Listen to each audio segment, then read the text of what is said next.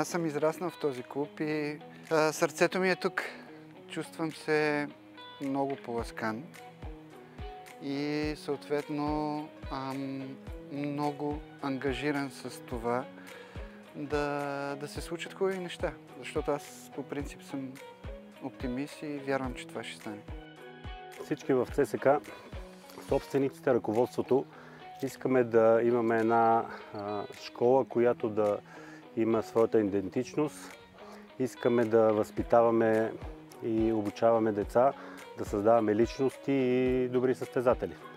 Затова от доста време обмисляме варианти, търсиме подходящия човек, който може да се нагърби с тази тежка задача, да стане директор в Дюш. Той трябва да, пред, да притежава освен личност и човешки качества, трябва да бъде и добре подготвен.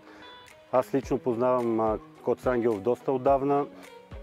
Проведахме много разговори с него. С часове говорихме за футбол, за неговата визия, как трябва да изглежда школата.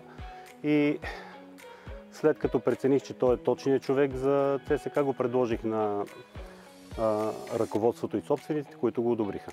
Изпълнявах длъжността технически наблюдател към УЕФА. Научих ужасно много неща.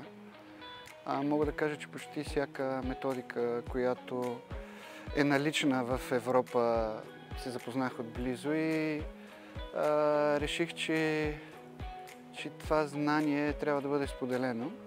Аз се свързах с Фичо, познаваме се отдавна, израснали сме заедно, той е с две години по-голям от мен. А, беше ми батко в академията и реших да споделя с него всичките си идеи, така че да, да бъда от полза, да бъда по някакъв начин от полза. Впоследствие, изненадващо за мен, той реши да, да, да, да ми отправи това предложение и не съм се колебал много. Аз не съм материален човек и знам, че човек трябва да следва сърцето си. Така че се съгласих много бързо и за мен е чест, пак още веднъж казвам, благодаря на него и на, на всички, които са ми гласували това доверие. А, ще направя всичко възможно, ще дам всичко от себе си, за да мога да го оправдая, в което не се съмнявам. Той е много честен, почтен човек, отговорен, отдаден на работата, която върши притежава ценности, които за мен са много важни, когато трябва да се работи с деца, с юноши, да се възпитават и, се, и да се обучават. От спортно-техническа гледна точка оценка за неговите качества са дали УЕФА, след като са го направили технически консултант към тях, който има задача да анализира юношески национални турнири. Така че за мен е много подготвен човек, човек много знаеш, разбираш футбола и мисля, че наистина той ще развие школата ни и съм щастлив, че той е тук при нас. Първото и най-важно е, че 2 или 3% от това е статистически доказано, че стават футболисти.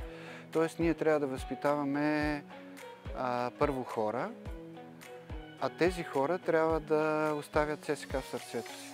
За мен е важно а, хората, които, децата, които тренират в този клуб, да имат а, определени морални качества и оттам се почва. Ако говорим за стилна игра, това, което имам като наблюдение е, че а, ние не можем да си позволим да бъдем страхливи на терена.